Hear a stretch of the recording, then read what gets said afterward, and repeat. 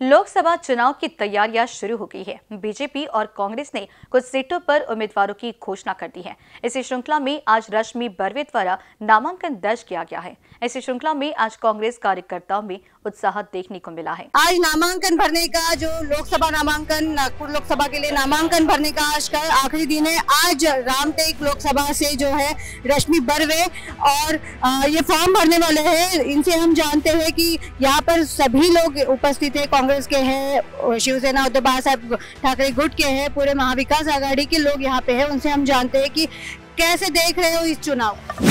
इस चुनाव को हम तो ये देख रहे हैं कि हमारी जो आघाड़ी है, वो बहुमत से जीतेगी और जुर्म करने वाले लोगों को नीचा दिखाएगी।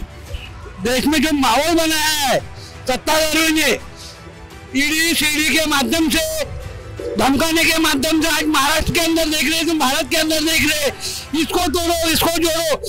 इनको चार सौ बार में ये थरी बार होने वाले है। ये थरी बार होने वाले इनके घर में सौ बोरे आटा होगा तो हमारा आटा का को इनके पास रामटेक लोकसभा के अंदर ऐसी परिस्थिति है इनके सत्ता रहने के बाद इनको उम्मीदवार खड़ा करने के लिए उम्मीदवार नहीं इनके पास। आज हमारा उम्मीदवार आज हमारा नेता हमारा एक अंदर उनको चोरी करना पड़ा तो उनको उम्मीदवार मिला। रश्मि बर्वे जी फॉर्म भरने वाले हैं। यही बताएँगे कि वो जीतना चाहिए। किस तरह से प्रचार होगा? आगे प्रचार तो गांधी जी हमने कांग्रेस के फेवर में होना चाहिए, क्योंकि हम लोग प्रचार कर रहे हैं राहुल गांधी की फेवर में। और जो सरकार जो है, ये हुकुमशाही सरकार है। जिस तरह से अंग्रेज़ों के काल में जो हुकुमशाही होती थी, वही कंडीशन वही परिस्थिति आज के काल में है।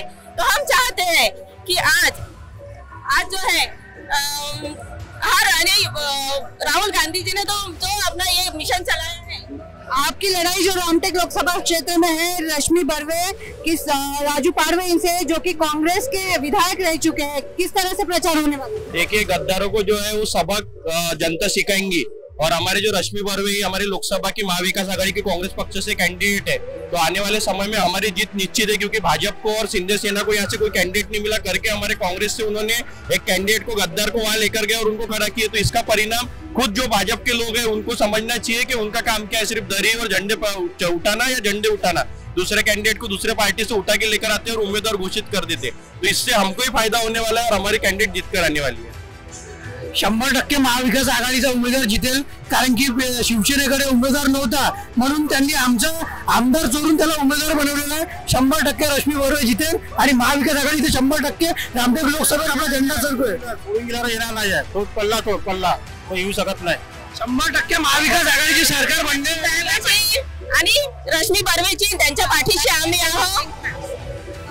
देखा कि रामटेक लोकसभा चुनाव क्षेत्र की जो मतदान प्रक्रिया होगी या चुनाव होगा, ये बहुत ही यहाँ पे जो है लोगों के लिए जो है बहुत ही उत्तेजक बनते जा रहा है। बहुत ही यहाँ पर जो है कड़ा मुकाबला हमें देखने को मिल सकता है क्योंकि राजू पारवे ये कांग्रेस के विधायक थे और वो अब शिंदे घूट में गए और इनकी लड़ाई जो होगी चुनाव के दौरान रश्मि बर्वे इनसे होगी। अब लोगों का जनमत तो हमने जाना है कि रश्मि बर्वे की तरफ़ ये जो लोग हैं, इनका कहना है कि रश्मि बर्वे चुनकर आ सकते हैं।